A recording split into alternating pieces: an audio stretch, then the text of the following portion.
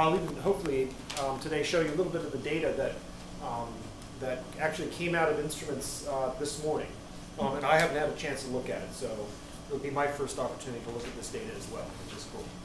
Okay, um, so I'm uh, up at the Large Lakes Observatory, uh, which is part of the University of Minnesota Duluth. Um, I'm an associate professor there in the Department of Physics. Um, and just a, a couple quick words. Can we turn off this front Oh, yeah. light right here? Is this, Yeah. is this Uh, right here? no, Nope. Nope. that one, there you go. We have many Um, options for. Yep, very good. Lighting. Um, maybe that keep that one back on. Yeah, that's good. That's perfect. Um, just a really quick word on what this Large Lakes Observatory is.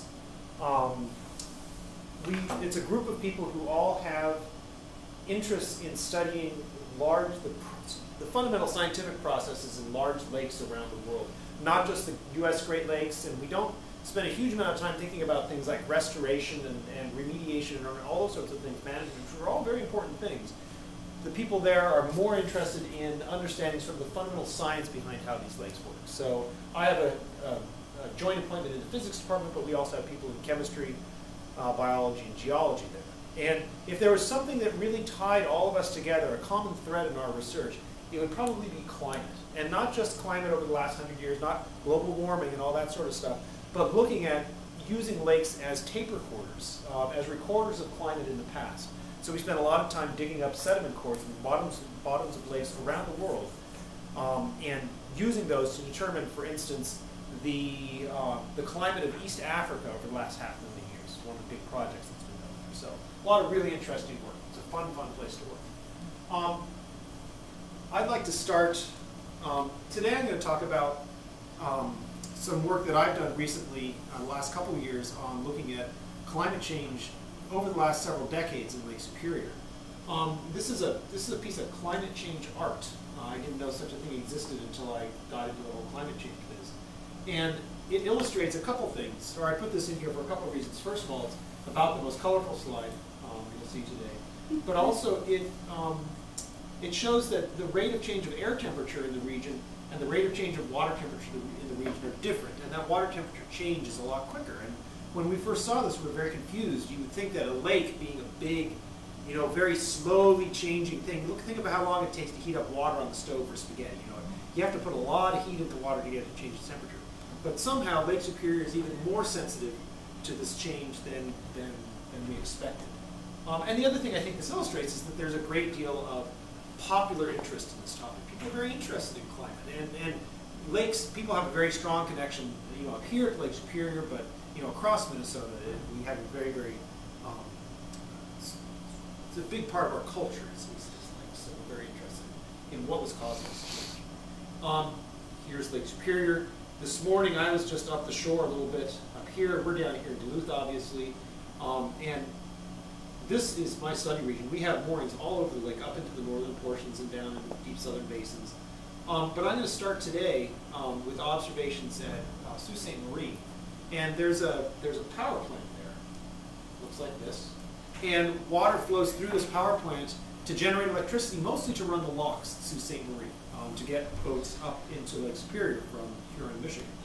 Um, and it turns out that somebody has been measuring temperature once a day at the intake of this plant since 1906. It's a tremendous asset, or a tremendous resource, I'm sorry, um, in that these sorts of long, consistent data sets are really very unusual. So um, when we heard about this, a lot of the data had already been um, collated by NOAA, but we got the last 15 years and put that together as well.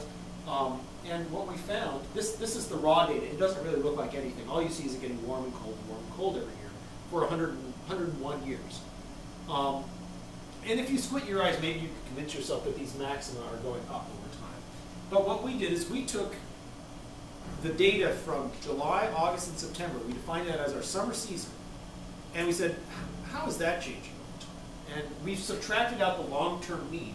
So if this, this temperature anomaly is lower than zero, it means that was a, a slightly cooler year, and it's greater than zero, it's slightly warmer. You can see that um, it was low over here and then sort of average here, and then really since about 1980 it's really taken off. And we have a couple more data points now since then, um, or since we did this. But you get the idea that um, things really have changed, um, and that change has really increased in its intensity since about 1980. Um, uh, the, the red curve here is the decadal or 10-year average. And I think the thing, the, the message to take away here is that the change over this time is on the order of two and a half or three degrees Celsius. You sort of have to double that in your head if you want to in Fahrenheit. Okay? So we're talking about a significant change at this one location on the order of five, even six degrees Fahrenheit. It's pretty remarkable. Um, this is the global air temperature average. Um, so there's a group called the Goddard Institute of Space Science, and they collect air temperature data from thousands and thousands of stations around the globe, air temperature, not water temperature, and they average those together. Um, and that's, if you're reading a Newsweek article on global warming, this is probably the curve that you see. And again, you see this pattern where it sort of warms gently up to about 1940 and plateaus and really takes off after about 1980. Well, the thing that really bothered us when we saw when we saw that when we saw this data here, we we were like, well, you see the same pattern, but look at the magnitude of this change. It's on the order of a degree Celsius um, instead of three degrees Celsius. So we realized at this stage that the lake was actually changing a lot more quickly than the global average. And we thought, well, maybe you know there are regional variations in global warming and stuff like that. So we took air temperature. This so this compares the um, that global mean in green to Lake Superior uh, from that one station. And again, the thing we're emphasizing here is the size of the signal is much larger. And there's there's still a huge amount of variability from year to year. Nobody denies that. Okay, so but behind all of that strong variability, there's this this really significant trend towards warmer temperatures. Um, and it's on the order over the last 25 or 30 years on the order of about a tenth of a degree C per year. Um, when we compared that to regional air temperatures, thinking that maybe it was just that Lake Superior was sitting in a region of particular warming, um, we found that those regional air temperatures um, were about um, six one hundredths, about half of what we observe in the water. So there's still something going on that's causing the water to behave differently than the air around it, and we were very curious about that. Um, so we decided to turn to some more recent data.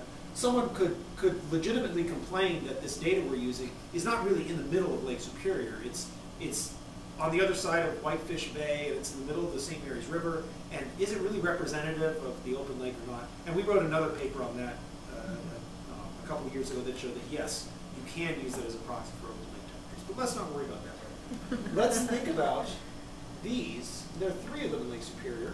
Um, they're um, run by the National Oceanic and Atmospheric Administration, and they have a group called the National Data Buoy Center.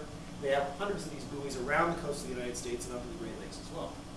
These are nice because, first of all, they're out in the middle of the lake. I think I have a map here. Yeah, so there's three of them: western, central, and eastern. Um, so they're not they're not they're in very deep water. They're not in the middle of a river or something like that. Um, they've been in there since about 1980. Um, so we've got 30 years now, which is actually quite a bit. So it's a it's long enough uh, time series that we can start to see trends. Um, they're only in from April through November, really May through November these days, um, because they can't be in during the ice over season. Um, and they measure not just water temperature, but air temperature and wind speed and wind direction. You see some anemometers up on top here. So we can get a lot more data than just water temperature. It's very, very useful. And it's free. You can go online this afternoon and download all the data collected by the NDBC for the last 30 years if you want to. I wouldn't suggest it, but the data is there. Um, and it's free to, free to you. You and I paid for this. This is our tax money. Um, and there are buoys in, in the other Great Lakes as well, not just Lake Superior, which is handy, um, because we can start to look at more than just one lake. Lake Ontario only got a buoy in 2002. I'm not sure why it took so long to get one for Lake Ontario. So here are the three buoys. And I'm going to show data, I think, just for the central one, to give you an idea of what's going on at that. And, and this is representative, you have to take my word, that the trends we see at these other two sites are very similar to what we see at that central site. And so here's what happened when I did the same thing to that data. I took the July through September data, and I averaged those together. I guess I didn't subtract the anomaly out here. But, and again, there's a huge amount of variability. 1998 was a very strong El Nino year, the very warmest year up until this last year, it turns out. And we see a trend, if you fit that, that's statistically significant, that's on the same order of what we saw at Sault Ste. Marie, a little over a tenth of a degree C. And if you took the maximum temperatures instead of the min, instead of the average, you see almost exactly the same trend. Doesn't really matter how you slice it or dice it. There's still this this remarkable trend towards warmer temperatures in this site. Um, okay, so here's the, the quick science lesson. I think I have time. for this. Oh, Um, good, okay. Um, and I don't know how much of this stuff people have already covered. Have you talked, have, uh, have you guys been doing classes or something like that? Or is this just a series of little workshops like this? Series of- of little workshops like Like- this. okay, great. You're introducing something new here. Okay, great. So I will, I'll spend a little bit of time on this. Um, we're all familiar with the concept of density. It's the ratio of um, the mass of a certain object to its volume, okay? And density tends to be an intrinsic property of material. So if I talked about the air in this room, if you told me its temperature and you told me the pressure here, I could tell you its density, right? Or for water. Um, water weighs, if I have a cubic meter of water, which is from this corner to about here, so a box a meter on the side, it would weigh about a thousand kilograms. If you have a liter of water, um, which is um, like roughly a quart, it weighs about a kilogram. It turns out that that, um, the idea that um, the density of something depends on temperature is also something we're relatively familiar with. You go into your house on a hot summer day, and upstairs is broiling, and down in the basement is nice and cool. It's because that hot air is rising to the top, and the cool air, because it's heavier, sinks to the bottom of the room. Or if you're up at your, your uncle's cabin and you go dive in the, the lake out behind the cabin, and it's nice and warm at the surface, and you dive down a couple meters, and it gets really cold down there. People vaguely familiar with this. Uh, light things want to sit on top of heavy things, okay? Um, and for water, that's fine. Um, this is a chart, this is a plot of density on this axis as a function of temperature. And the really odd thing about this is it doesn't just get more and more dense as it gets colder. It gets more and more dense until it reaches about 4 degrees Celsius. And then it gets less dense. This little blip here, this little blip, um, is fundamentally important for understanding the ecology of freshwater systems in general, especially at mid-latitudes where it can get cold. You know, in a tropical system, this doesn't make any difference because you're always over here. But in, in, in mid-latitudes and high latitudes, this is extraordinarily important because it means that in the summer, yeah, I have these two slides next. In the summer, this is what, if we went out to the middle of Lake Superior in August and we took a probe and we loaded through the water column, we would see warm water at the surface, maybe the top 10, 20 meters, and we'd see cooler water below because that warm water is, is less dense and it wants to sit on top. On the other hand, if we went out there in the winter, and this is sort of the amazing thing, this is what we'd see. We'd see colder water overlying warmer water. And this, this layer might be very, very deep. The reason it's deep is because in the winter, you have these big energetic storms coming through and churning up the water and mixing it down, mixing that surface water down.